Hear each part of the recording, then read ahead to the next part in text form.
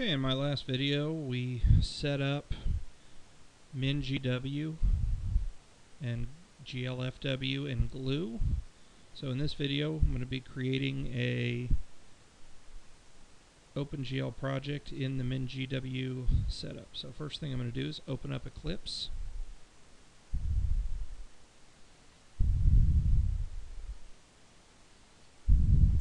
And for those of you who are coming from Visual Studios, the whole concept of a workspace, is, as far as I can tell, is you can have multiple project files associated with this workspace. So I personally have multiple projects that, that have multiple project files per, so I have different workspaces for different projects. So I'm going to just go ahead and use this one.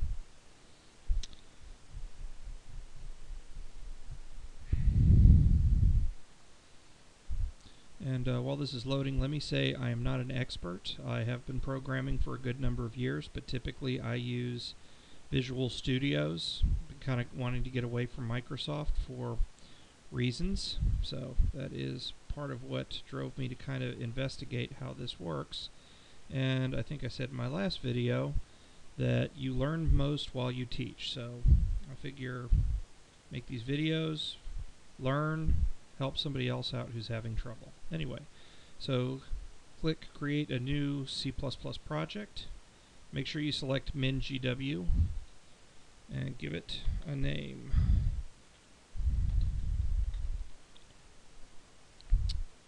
And finish. Close the welcome screen and here is our project. So the first thing we're going to do is actually, I'm going to uh, pause right here and say I've written a working program using all this. Now one of the things that I had have happen was the GLEW header file would not compile because it uses a variable type called glchar. Now on Stack Overflow I saw a lot of people were having issues and it was being chalked up to a bad setup. But what happened with me was when I went and looked at the GL header file which, if I understand correctly, is supposed to set, let me open it up so I can illustrate what I'm talking about, is to type def the variable types that are appropriate for whatever operating system you're running on, in this case, Windows. So when I looked at the gl.h, here are all the types, I noticed this one glchar was not among them. So I just added this line and the everything started building just fine after that. So there were a whole bunch of varying uh, suggestions about setup and such. I tried some of them. I could never get any of them to work. This one worked for me.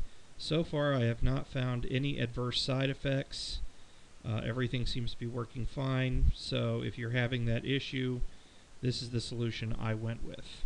So I just thought I would make that known. Okay, so going back to this, first thing we're going to do is set up our paths for our includes and uh, our libraries, and then set up our libraries. So go to General, Paths and Symbols, and another thing you want to be aware of is make sure to click GNU C++ before you get started. First time I tried to set this up, I had it on assembly and bad time. Nothing wanted to work right and I couldn't figure it out. I kept looking at it and it was like, oh, set GNU C++.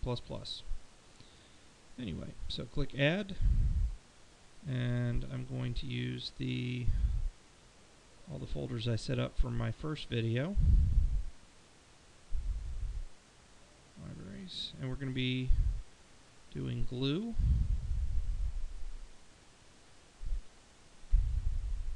Or GLFW, pardon me, getting ahead of myself.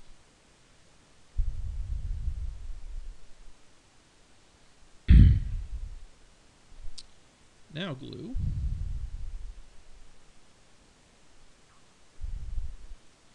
And I'm going to add GLM.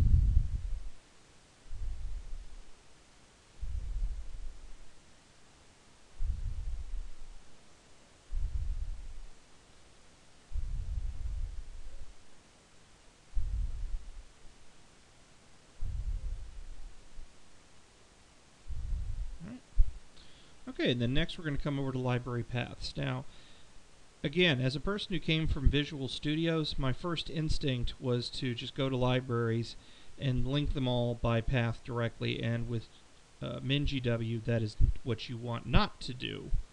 And I'll explain that here in a minute. So come over here to, to library paths, and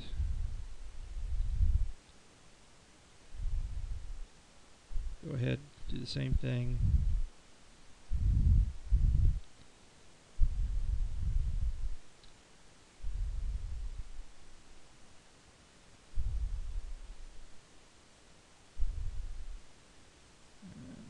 load up.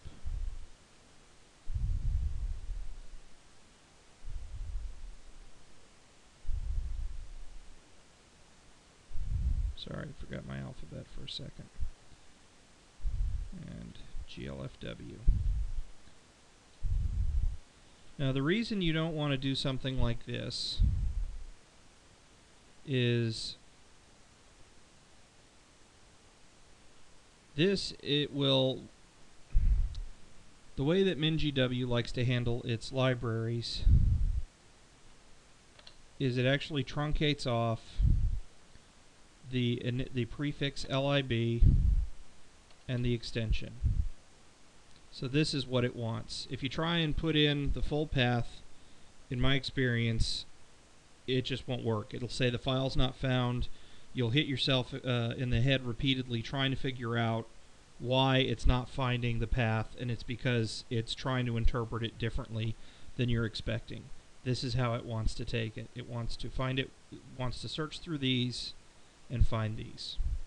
Anyway, so while I'm here, I'm also going to mention that the GLFW3DLL.A is the DLL linked archive. Now, if you built the GLFW libraries without the build shared then what's going to happen is you're going to get the statically linked. Now, I had a lot of issues with the statically linked. In fact, I never got it to work. GLFW is a open uh, open source multi-platform handler.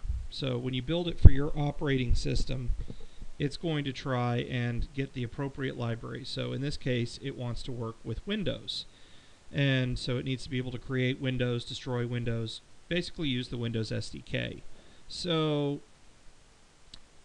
when I tried using the static library, it couldn't find references to the create window, the destroy windows.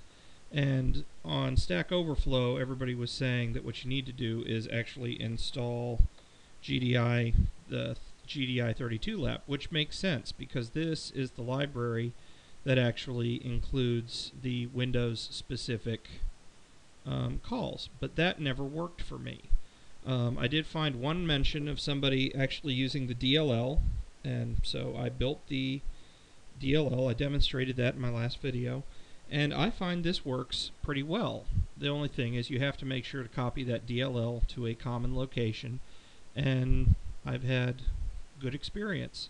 So if you want to try and get the static library working, you need to include the GDI. And if you still can't get it working like me, then you can use the the D, uh, the DLL library. So that being said, so we're going to add the GLEW32 library, and we're going to add the OpenGL32 library. so now there was another thread. I've been doing a lot of searching on Stack Overflow and some people were having issues that were being attributed to the libraries not being in the correct order. Now, there is a control here to, to change the build order, so I can't imagine that there that the order doesn't have something to do with the build, but I haven't personally had any issues with it.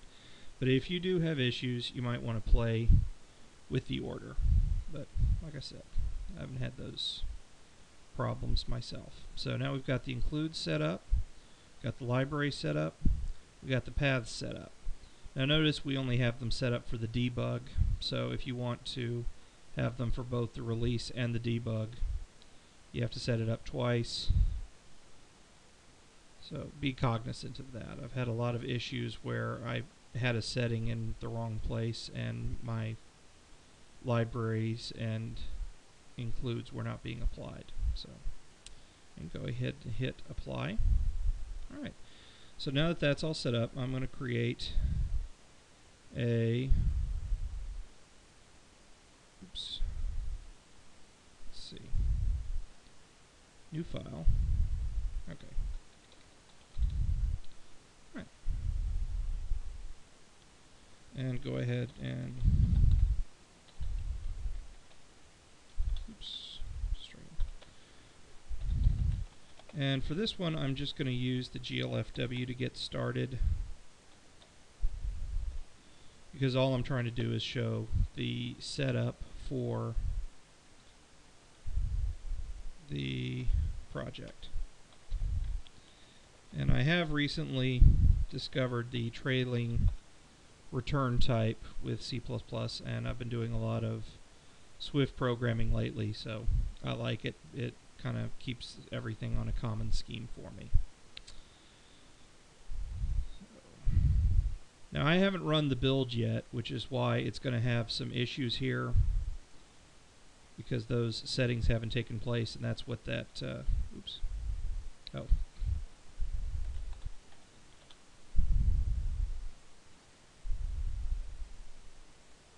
Oh. Important safety tip for those people coming from Visual C++ or uh, Visual Studios pardon me. You run the build notice that the file isn't saved. So if you find yourself making changes, trying to build it, and nothing's being applied, make sure that you click the Save button before you hit your Build button. And you'll see now everything builds fine. Now I'm going to say this um, also. If you went with the DLL build on the archive file, be sure to define